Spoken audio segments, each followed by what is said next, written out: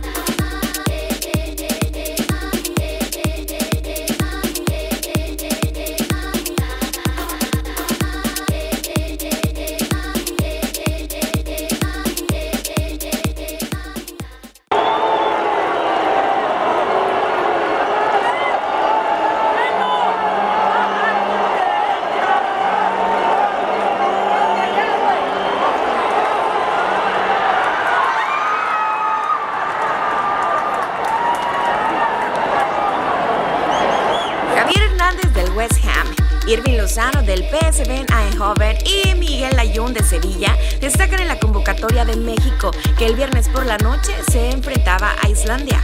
Tanto Islandia como Croacia son rivales con boleto a Rusia 2018 y le sirven al técnico de la selección mexicana para saber en qué nivel se halla su escuadra para la justa mundialista.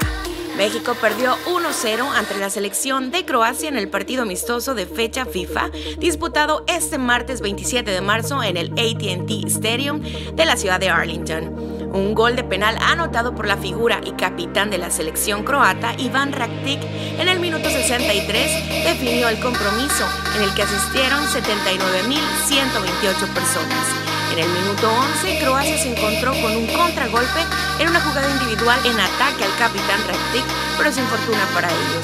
Dos minutos más tarde, una pelota perdida en la salida mexicana servía para que los croatas exigieran al guardameta Guillermo Ochoa. En esa jugada, México perdió al zaguero Néstor Araujo por lesión en la rodilla izquierda que tuvo que abandonar la cancha, siendo trasladado de inmediato a un hospital para